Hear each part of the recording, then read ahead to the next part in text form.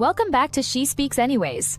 In this episode, we're going to explore something incredibly important and often misunderstood the science behind the subconscious mind. Now, you've heard me say this before the subconscious mind controls up to 95% of your daily behavior. But what does that really mean? And how does it work scientifically?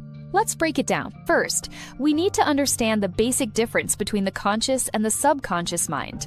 Your conscious mind is the thinking part of your brain. It's the part you're using right now to listen to this episode. It helps you analyze, make decisions, plan, and set goals. But your subconscious mind? That's the part working quietly in the background. It stores your memories, your beliefs, your emotions, your habits, everything you've ever experienced. It never sleeps. It's always listening, always learning, always influencing your life. Here's the kicker. Even when you consciously want something like more confidence, financial success, or better health, if your subconscious mind holds a conflicting belief, it will silently sabotage your efforts. That's why change often feels so hard. It's not because you lack discipline, it's because your programming is outdated. Now let's talk brainwaves, because this is where the science gets fascinating. Your brain functions using electrical activity, and this activity occurs in different frequencies called brain waves. Each frequency corresponds to a different mental state. When you're fully awake, alert, and focused, like during work or intense conversations, you're in the beta state. When you start to relax, like when you're daydreaming or winding down before sleep, you enter the alpha state. This is the bridge between conscious thinking and subconscious awareness. Go deeper, and you reach theta, a meditative, dreamlike state. This is where the magic happens. Theta is the ideal state for subconscious programming. It's the state children live in most of the time, which is why they absorb language, beliefs, and behaviors so effortlessly. Finally, there's delta, which is deep, restorative sleep, important for healing, but not ideal for learning or conscious transformation. So, why does this matter? Because if you want to reprogram your subconscious, you need to tap into alpha and theta brainwaves. That's why techniques like meditation, hypnosis, and visualization are so effective, they slow your brain down and open the gateway to your subconscious. Now let's get into neuroplasticity.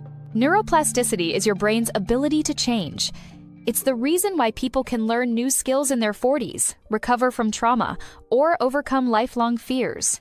It means that your brain is constantly creating and reinforcing neural pathways connections between thoughts, emotions, and actions.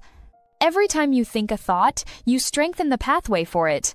Repeated thoughts become beliefs, beliefs become behaviors, behaviors become your reality. Think about it like this. If you've always believed you're not good enough, your brain has literally built a neural superhighway for that belief. Every experience that supports it gets stored as proof. Every time someone doubts you or you make a mistake, it's like adding another lane to that highway. But the great news is you can build new highways. You can change the belief. You can form new thoughts, new feelings, and new habits that align with your goals. But you need repetition. You need intention. And you need to access those alpha and theta states where the subconscious mind is most receptive.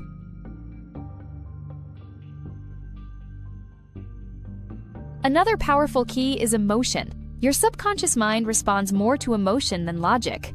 It doesn't care if something is true, it cares if you feel it's true. This is why traumatic events from childhood stay with us. The emotional impact imprints the experience directly into our subconscious. But this also means we can use positive emotions to our advantage. When you visualize a goal, don't just see it, feel it. Imagine the excitement, the pride, the joy of living that reality. The more emotion you bring in, the deeper the imprint on your subconscious. So, when you say your affirmations, when you meditate on your vision, connect it to an emotional state. This combination of repetition and emotion is what rewires the mind. Let's talk about science backed examples. One of the most famous studies on the mind body connection involved placebos.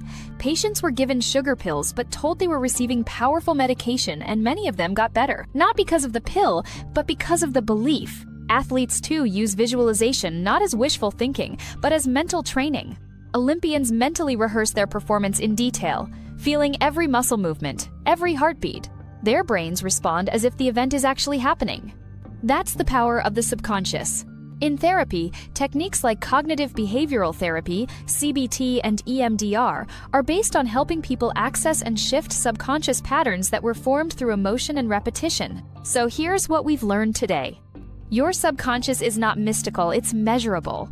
It responds to brainwaves, emotions, and repetition. And it can be trained. You are not stuck with the beliefs you were raised with. You are not limited by your old habits. You are not defined by your past programming. You are reprogrammable. You are changeable. You are powerful. As we move into episode 5, we'll talk about one of the biggest subconscious blocks fear and negative thinking. You'll learn where fear lives in the brain, how to override it, and how to turn doubt into belief. But for now, I'd love to hear from you in the comments.